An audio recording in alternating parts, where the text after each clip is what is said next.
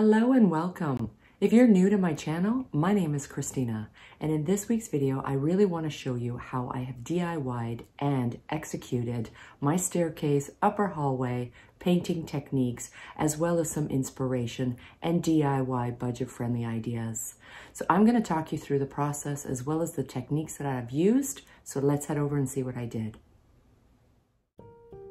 For some that have been following my channel already know that my husband Ryan and I have recently bought a 130 year old heritage home and we're so excited to get started on some of the room makeovers. And we recently have had a new addition to our family which is our dog's actual litter brother and we needed to make some changes around the home.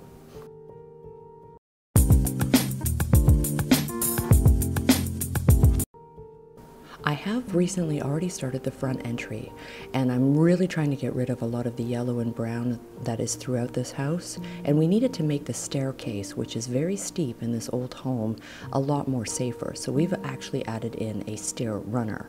But I wanted to add a little antiquity to it so I wanted to DIY some kind of stair rod as I see them all over Pinterest. And I knew what I wanted but I couldn't quite find what I was looking for.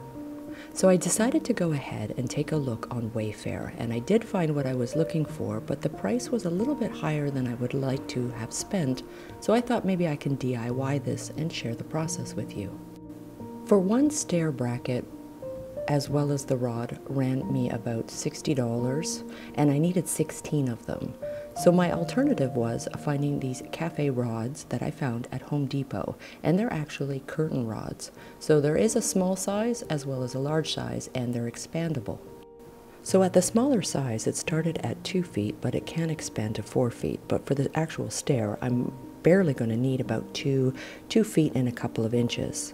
So these were the brackets that came in the package.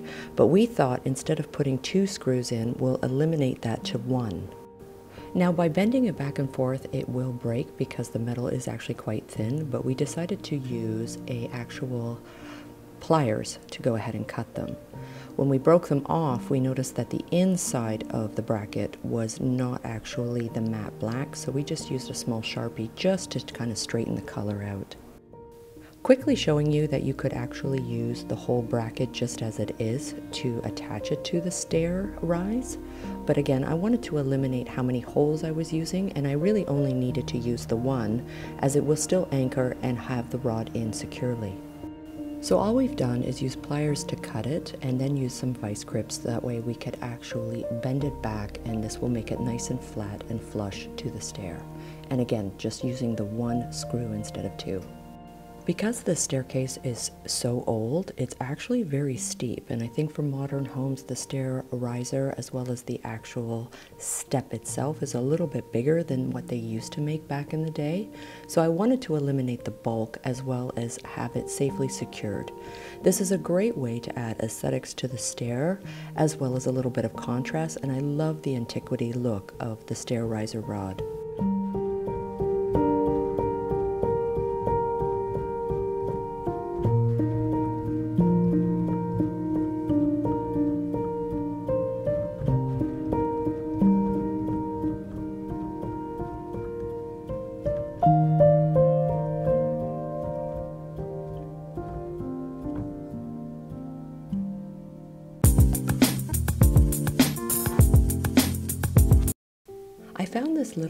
Vanity desk and I absolutely love its style, the nice tall legs. It's perfect. It's going to be great for a little vanity and I wanted to upcycle this by doing a glazing technique and taking you through the steps on how easy it is to work with glaze.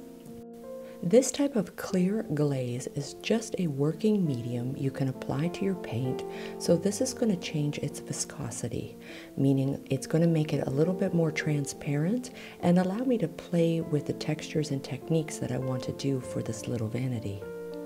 Before I get started, I'm going to use the TSP to clean this piece, or you could just use a degreasing dish soap, and this is just going to help prep the piece before I get started with using my paints. I love the chalk paint look, so I'm going to use the Annie Sloan paint in Country Gray. I'm also going to use a chocolate brown Honfleur, And I think I'm even going to make a custom mix using the French linen and Paris gray for my glazes. But I'll talk you through the steps on how easy it is. First thing I'm going to do is, because I'm using a light color, I'm going to go and put two full coats of the Country Gray on. Now to get into these little smaller areas, because these little compartments, drawers, and slots here, I'm going to use a short palm brush as well as a long handle brush. This will help me get the edges as well as these back recessed areas with a full coverage of paint. Applying a light color to a dark color surface, I would advise probably two coats so that way you're getting good coverage. And for my second coat, I'm just going to add in a little bit of water to help smooth out the top surface, and then I can get into my glazing techniques. Using clear glaze allows for a lot of beautiful faux finishes, and what I want to create is some beautiful texture. I'm going to make a glaze mix in the brown chalk paint as well as I made a custom French linen and gray color and I've added four parts of clear glaze to one part paint. There are glazes that actually are fun to work with and actually are part of decorative finishes, but this kind of clear glaze is only for decorative purpose. It doesn't seal your projects. Once the base coats are completely dry, we can get into the glazing techniques.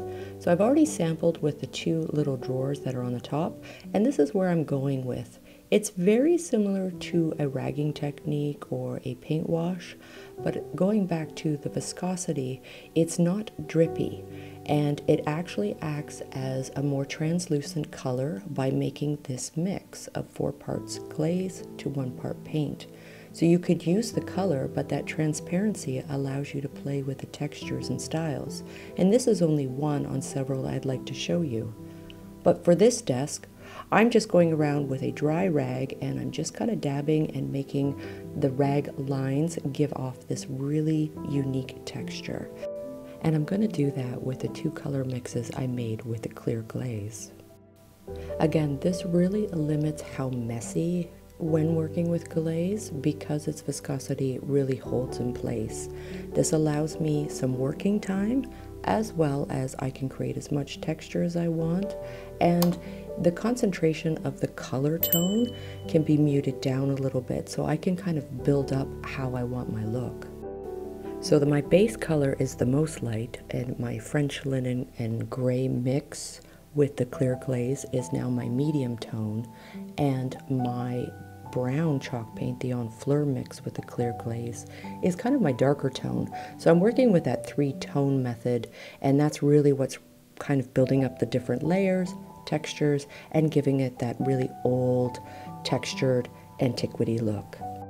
With a lot of different painting techniques, I always find the most organic look to make something look more aged is building those layers. So you can put as many of these glaze layers as you want. You can create as much texture as you want.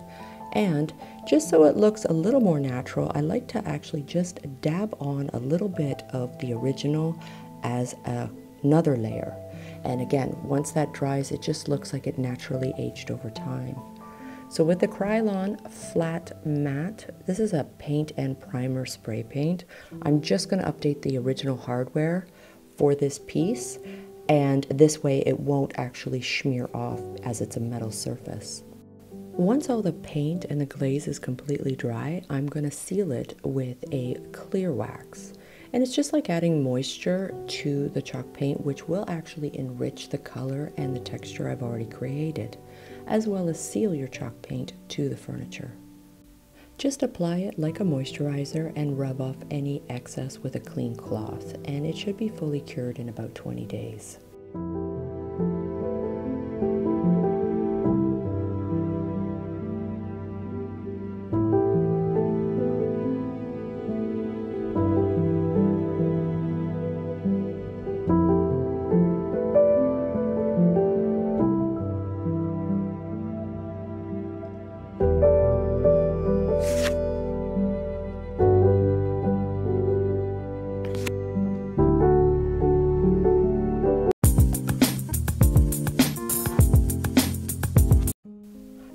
To stop about halfway up this wall because I only completed the lower entry and I really would like to finish the upper entry hallway.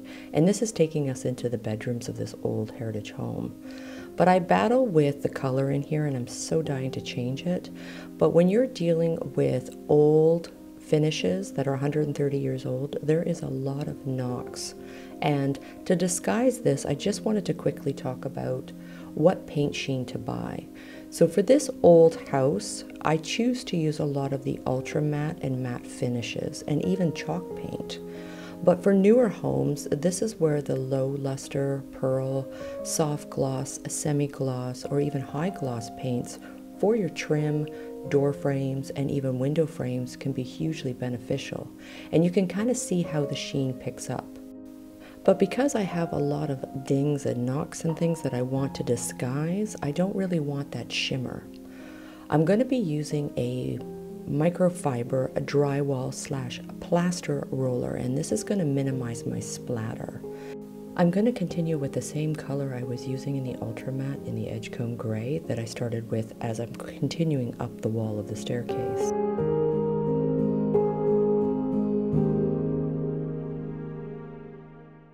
I generally would like to use a paintbrush when I paint the wall. This will limit how many coats I need, but with a roller, I kind of have to because of the area of reach that I need to get to.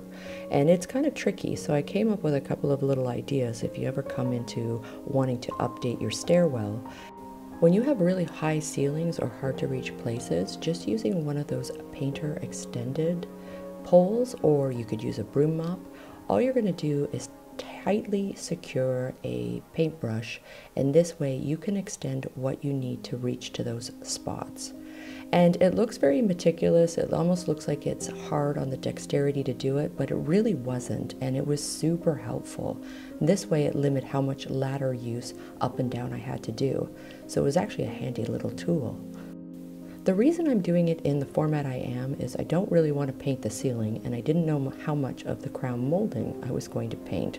So I kind of went with what color I'm starting with and work my way up.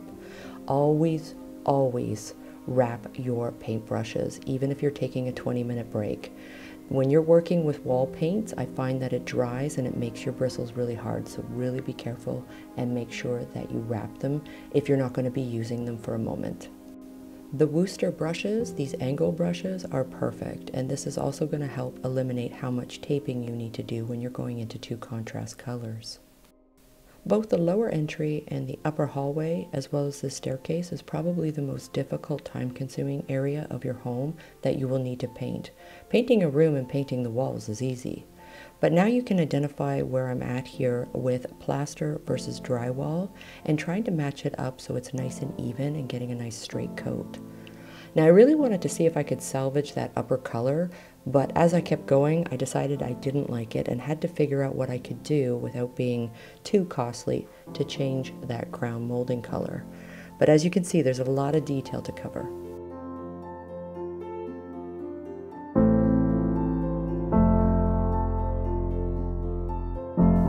Now for the downstairs, I really like the black contrast for the trims and the door frames as well as my doors.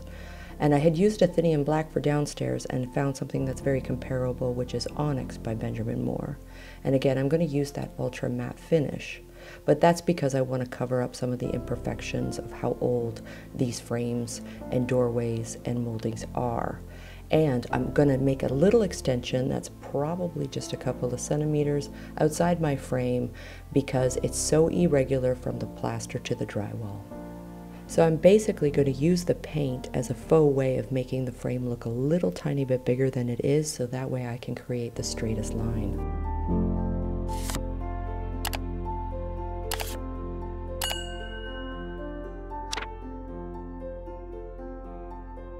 Even though this is just an entryway, it had the most detail between the stair banister, the spindles, and the different colors that I'm using. So this is actually going to take me more time to paint than a lot of the other larger principal rooms.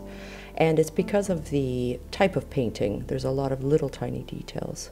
But this is showing you there is a sheen paint already that's in a brown on the stair banister And I kind of want to show you in close detail as possible that by using that ultra matte, this way you can kind of not have the highlights of all those imperfections shown by that sheen paint. So when you're trying to disguise some of those imperfections, this is a great alternative. I tried to see if I could get that color that's on the crown molding to work and it's not working. So I'm going to take up the Edgecomb Gray all the way to the very corner and then to make that ceiling paint that I don't want to paint over if I don't have to, pair nicely with what I've got going on.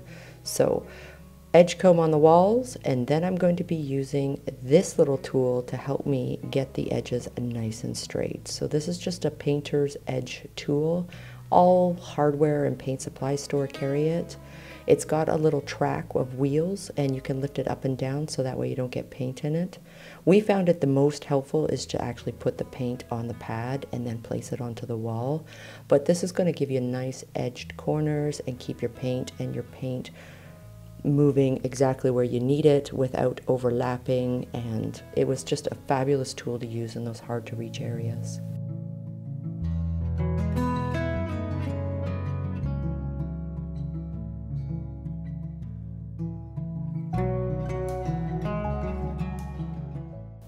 Now because I did not want to paint the ceiling as it's already kind of this off-white, but it's not a yellow kind of cream white, what I'm going to do to marry that Edgecomb Gray wall paint that I've taken up to the crown molding, there's two parts to this crown molding, so I'm going to use a different, kind of a darker gray tone, so that way the ceiling and the wall paint that I've used kind of marry together a little nicer. So again, I'm just trying to eliminate how much ceiling paint I have to do in this house, but at the same time, I'd still like to accomplish what I'd like to get out of the whole look. So to get to that hard to reach area, I'm using that same little method and I'm using one of those sash brushes, which is perfect for your staircases and those hard to reach places. Those circular little tips will help reach those little areas and those little tiny areas that a paintbrush might be more tricky to get to. So I really recommend those sash brushes and you can still get your nice clean lines. I have such a true satisfaction about painting my own home. As much as it's a little bit of work, it's a huge money saver and believe it or not, you really don't need to buy a lot of paint to be able to kind of break up what it is you need to do. So to eliminate how many coats I need to use on these spindles, I'm using the thick chalk paint in just old white. I've already done the lower portion of the spindles of the staircase, and it really helps speed up the process. And now that all the entries are completed in the home, I can really get into those room makeovers and more DIYs, which I'm really looking forward to sharing with you soon.